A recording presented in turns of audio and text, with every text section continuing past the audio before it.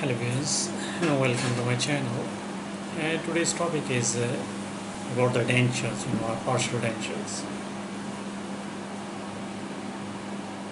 Uh, so there will be multiple videos about uh, this topic. So the, this one is uh, about what are the dentures? Now but before starting this topic, I would like to request you subscribe this channel uh, for more informative videos.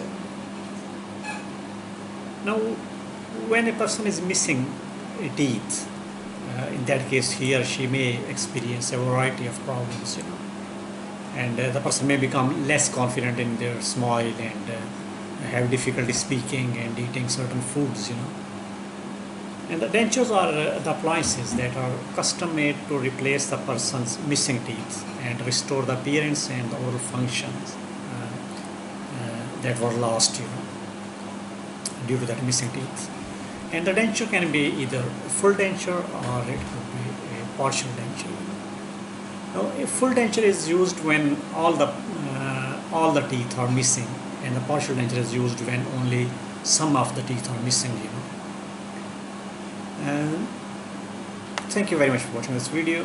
Uh, the next video will be about uh, uh